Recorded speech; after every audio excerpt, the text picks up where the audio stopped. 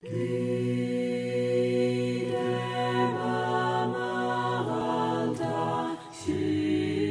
მგონია რომ ღმერთი ერთია. ჩვენა ვართ ჭრელები ამ სამყაროს სხვადასხვა კუთხეში.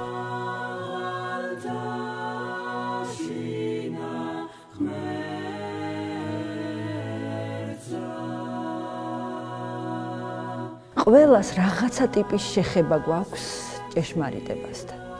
ყველა ჩვენებურად აღვიქვავთ იმის მიხედვით, სადავ დგევართ, საიდან ვუყურებთ, საიდან ცდილობთ აღვიქვათ ღმერთი. შეიძლება ერთმანეთისაგან სრულად გამომრიცხავ რამეებს აუყვებოდეთ ღმერთზე. მაგრამ მე მჯერა რომ ჩვენ ერთ რამეზე ვლაპარაკობთ.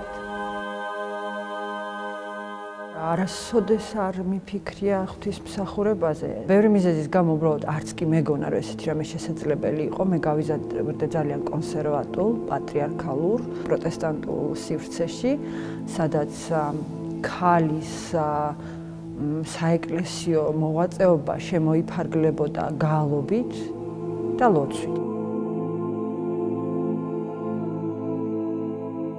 ფაქტობრივად მიწევდა ჩემი თავისთვისაც კი გამომეძერწა რას ნიშნავს ქალი ღვთისმსახური და თან ასეთი საპასუხისმგებლო რანგისა. ჩემი ყველა პირის გაღება მოიაზრებდა რომ მარტო მე არ ვლაპარაკობ და ჩემს უკან დგას ქალები რომლებიც ჩემამდე იყვნენ, ქალები რომლებიც ჩემს გვერდით არიან და ქალები რომლებიც ჩემს მერე იქნებიან. ძალიან ბევრ რამეს ნიშნავდა.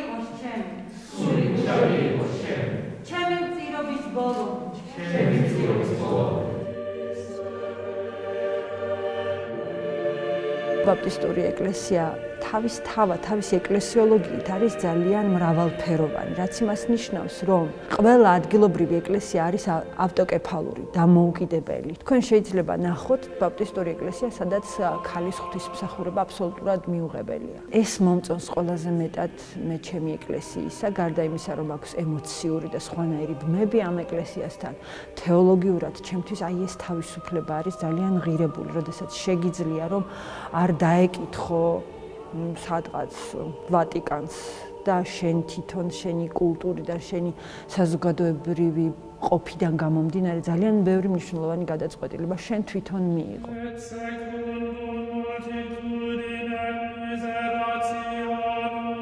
გადაწყვეტეთ რომ ჩვენი ლიტურგიის ტექსტის ნაწილი ყოფილიყო ვეფხისტყაოსნის ტრიქონები და გვჯერა რომ ის რაც ამ ტექსტშია გაჟღერებული არის ერთ-ერთი საუკეთესო სახე ქრისტიანობისა. ტექსტში რომელშიც არც ქრისტე არსად ნახსენები, არც ეკლესია, არც ჯვარი, არაფერი, რომელსაც არ არქმევ, არც ქრისტეს არქმევ, არაფერს არ არქმევ, მაგრამ ეს არის ღმერთი.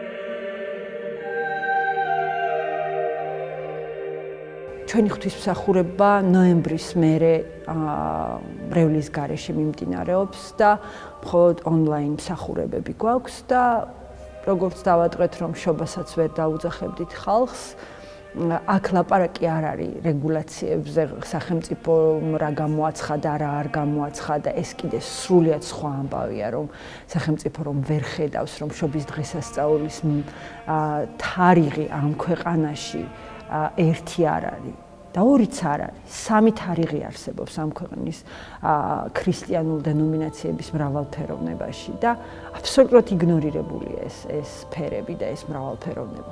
ამაზე არ არის ლაპარაკი. უბრალოდ საფრთხე იყო არ შეიძლებოდა ადამიანების ერთად შეყრა ერთ სივრცეში დიდი ხნის მანძილზე და გავაკეთეთ ეს ინსტალაცია. კოლოფები სხვადასხვა სიმაღლეზე, სხვადასხვა სიგანეზე დგას, ესეც განსხვავებულობის ერთ-ერთი სიმბოლოა და მსახურების დასაწყისში ყველა მონაწილე ვინც კი ლიტურგიაში ვიყავით მიდიოდა და ანთებდა თითო სანთელს და კამერაში ამბობდა რომ ამას ამ სანთელს ვანთებ თქვენთვის. და ეს სათითაოდ სხვადასხვა ტიპის ადამიანებისთვის იქნა ანთებული სანთლები.